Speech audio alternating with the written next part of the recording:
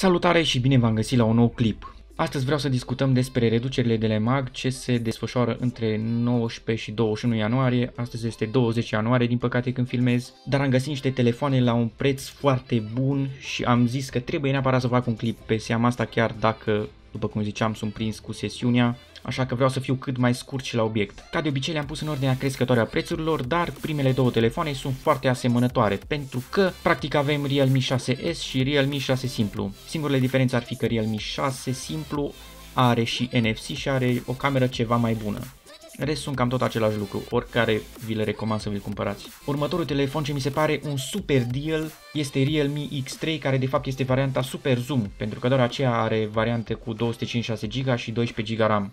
Bine, nu vă lăsați păcăliți de aia 12 GB RAM, că sunt cam inutili, cei peste 4, High 6, e cam inutil pe Android. Acesta vine cu același procesor cu care vine și OnePlus 7T, spre exemplu, doar că acesta a fost lansat undeva în iunie 2020 deci va primi inclusiv Android 12, zic eu. Deci, din punctul ăsta de vedere e ok, performanța e foarte bună, comparabilă cu un S20 varianta noastră de Europa, performanța brută mă refer, memoria are cât încape, din păcate este doar 4G, dar eu zic că nu e o mare problemă asta. După cum ziceam, la banii ăștia camerele sunt bune, ecranul este la 120 de Hz, dar din păcate doar IPS, încărcarea este la 30 de W sau 33 la toate telefoanele, bateria iar este ok, e un telefon best buy la banii ăștia.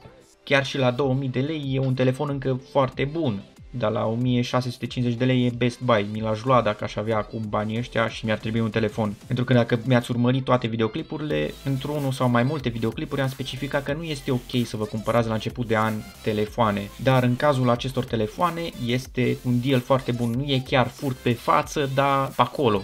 Următorul este Mi 10T care nu are chiar o așa mare reducere, este la 1900 de lei, are doar 128 de GB stocare și 6 GB RAM, care după cum ziceam sunt suficienți. Este însă 5G, are procesorul de top din 2020, deci același ca și pe OnePlus 8 spre exemplu, dacă tot OnePlus am dat exemplu și mai înainte. Camerele sunt asemănătoare cu Realme X3, doar că nu are zoom deloc, adică nu are cameră de zoom deloc, doar digital. Încărcarea, după cum ziceam, la fel, bateria e mai mare aici, cred că de 5000 de mAh. Construcția este premium și aici, bine, premium în banii ăștia, adică nu oferă rezistență la apă și praf. Și următorul care mi se pare și ăsta un super deal, ce drept se găsea și pe la 2800-3000 de lei acum vreo 2-3 luni telefonul, dar la 2400 de lei deja e aproape furt pe față după cum ziceam și acesta are același procesor cu Mi 10T, însă are ecran AMOLED la doar 90 de Hz cei drept, Mi 10T având la 144 de Hz dar IPS, are difuzoare stereo, precum are și Mi 10T-ul, restul nu au, e 5G, are vestitul senzor de 108 megapixel, deci se bate acolo cu grei să zic așa, nu chiar cu S20 Ultra să nu exagerăm la poze și filmări și așa, nici cu P40 Pro sau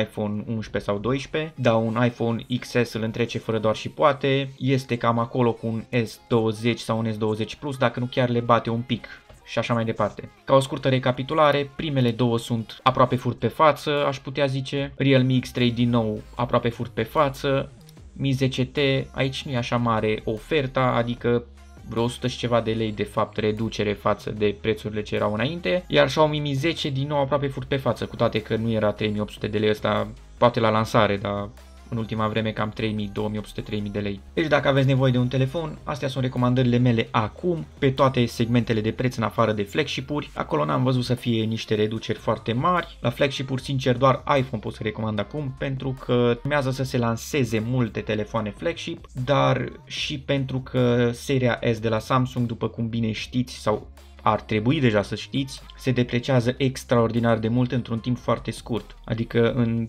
cam două luni cade cu vreo 30-40% prețul în magazin, ceea ce nu e ok, zic eu. Nu uitați să-mi dați un like dacă v-am ajutat. Până data viitoare am fost Roman, toate cele bune!